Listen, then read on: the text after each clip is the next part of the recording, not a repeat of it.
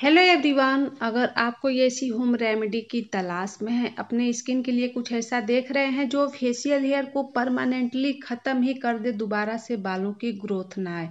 वैसे facial hair को हटाने के लिए तरह तरह का हम उपाय करते हैं। बहुत सारा ट्रीटमेंट करते हैं होम रेमेडीज का यूज़ करते हैं, लेकिन काम नहीं करता है। बाल हट जाता है, लेकिन दोबारा से उसकी ग्रोथ आ जाती है। तो आज हम उसके ग्रोथ पे काम करने वाले हैं। फेशियल हेयर को पूरी तरह से स्टॉप कर देगा। बालों को जड़ से क्लीन करके दोबारा से बाल आने नहीं देगा वहाँ पे। आज के इस वीडियो में आप लोग के साथ एक ऐसी होम रेमेडी शेयर कर रही हूँ, जो कि आपके फेस के अनचाहे बालों को साफ़ भी करेगा, उसके ग्रोथ को भी रोकेगा। हम ज़्यादा बातें नहीं करते, चलिए चलते हैं किचन में और देख लेते हैं कि किस तरीके से बनाना है। अगर आप सच में नेचुरल तरीके से फेशियल हेयर को हमेशा के लिए ख़त्म करना चाहती हैं तो आज का वीडियो आपके लिए है। इस रेमेडी को बनाते समय कुछ बातों का ध्यान देना है। अगर सही तरीके से नहीं बनाएँगी तो फिर एक काम नहीं करेगा, वीडियो को लास्ट तक देखिएगा। बहुत अच्छी आपको इस वीडियो में जानकारी मिलने वाली है। सबसे पहले हमें एक पतीला लेना है और इसमें हम आधा ग्लास पानी डाले हैं। गैस का फ्लेम बिल्कुल कम कर दीजिएगा और आधा ग्लास पानी में हम एक चम्मच भर के डाले हैं चीनी, जिसका कि हम लोग चाय बनाने में यूज़ करते हैं। नॉर्मल चीनी जो आपके किचन में होगा, उसमें से ले लीजिएगा और इसमें आपको एक चम्मच भर के ऐड कर देना है शहद, जो कि ये शहद ही था। बहुत सारे लोग कंफ्यूज हो जाएँगे कि ये क्या था। तो फ्रेंड ये शहद ही था थोड़ा सा जम गया है। एक चम्मच चीनी है प्लस एक चम्मच हम इसमें ऐड किए हैं शहद, जो फेशियल हेयर को खींच के निकालेगा। बहुत सारा हम ट्रीटमेंट कर लेते हैं, बहुत सारा उपाय कर लेते हैं। फेशियल हेयर को हटाने के लिए, लेकिन वो काम नहीं करता है। और जो लोग अपने फेस पे थ्रेडिंग के थ्रू बालों को साफ़ कर चुकी हैं, दोबारा से जो बाल आता है, उसका जड़ काफ़ी ज़्यादा मज़बूत होता है, उस पर भी ये काम करने वाला है, बालों को खींच के निकालेगा। तो इसे किस तरीके से बनाना है, वीडियो को ध्यान से देख लीजिएगा। इसमें हम आधा चम्मच नींबू का रस डाले हैं, जो कि ये काफ़ी अच्छा काम करता है। फेसियल हेयर को भी हटाता है और साथ में हमारे फेस पे भर भर के ग्लो भी लेकर आता है, जो कि हर एक महिला चाहती है। अब इसमें हम चुटकी भर क्या ऐड किए हैं, आप लोग कमेंट करके बताइएगा कि ये क्या है।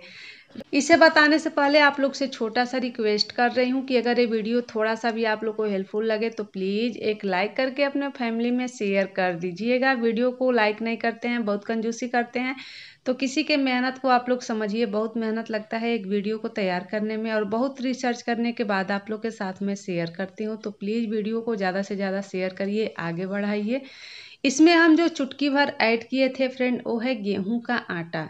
अब बहुत सारे लोग सोच रहे होंगे कि चुटकी भर गेहूँ का आटा तो जी हाँ इस तरह का घरेलू रेमेडी कहीं भी आपको देखने को नहीं मिलेगा और इसका रिज़ल्ट आपको हंड्रेड टू हंड्रेड परसेंट मिलेगा। जी हाँ आपको जो रिज़ल्ट मिलेगा, आप पार्लर जाना छोड़ देंगी। जो आप लोग जाकर फेस पे थ्रेडिंग कराते हैं ना, वो स्किन के लिए बहुत ज़्यादा नुकसानदेह होता है। और आज से अगर आप बंद नहीं किए तो फिर आने वाले टाइम में आप बहुत ज़्यादा पछताएँगी।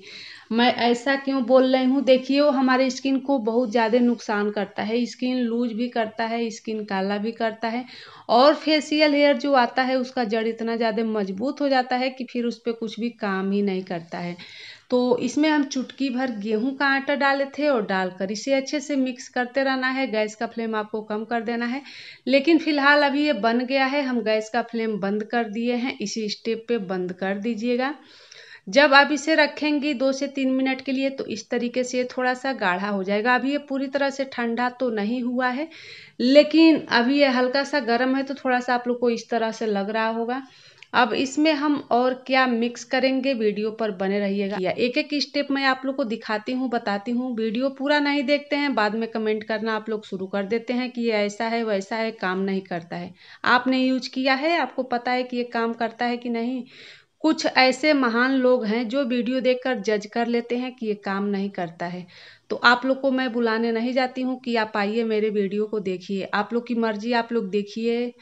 आप लोग को मैं न्योता नहीं देने जाती हूँ। पर गलत कमेंट आप लोग मेरे वीडियो पर ना किया करें, ठीक है? मुझे बहुत ज़्यादा ख़राब लगता है। इसमें हम ऐड कर रहे हैं फ्रेंड पाँच से छः बूंद नींबू का रस। नींबू का रस इसमें डालिएगा ज़रूर। एक क्या काम करेगा? स्किन को सॉफ्ट बनाएगा और फेशियल हेयर हटाने के बाद स्किन आपका ड्राई नहीं होगा। ठीक है जी? ज़्यादा नहीं डालना है, सिर्फ़ पाँच से छः बूंद आप इसमें नींबू का रस डाल दीजिएगा। डालकर अच्छे से मिक्स कर लेना है और आप लोग देख सकते हैं कि काफ़ी ज़्यादा गाढ़ा हो गया है।